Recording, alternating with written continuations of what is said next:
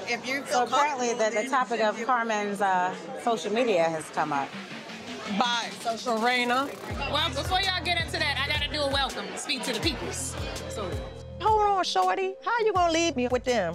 This is my real first time dealing with all these ladies. Sometimes I feel like Joy and Clifton are a little too quiet. I'm like, do y'all like this rumor? I don't like it. It does not serve me at all. It's my reputation and my business. They can go home and sleep in bed and have pillow talk. This is about me. I do not think that y'all in a couple. I think y'all do that to play it up so that people talk about it. I don't think you really are. I, I, I don't do it to play it up. Do you think it's weird that y'all go on trips and stuff?